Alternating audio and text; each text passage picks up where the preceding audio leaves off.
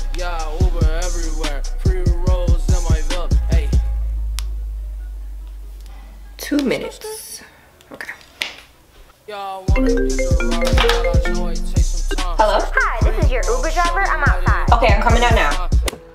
Hello, how are you? Fine, how are you? Good. I'm going to Rodney's house. Um, the address is 1031 Palmetto Avenue. So,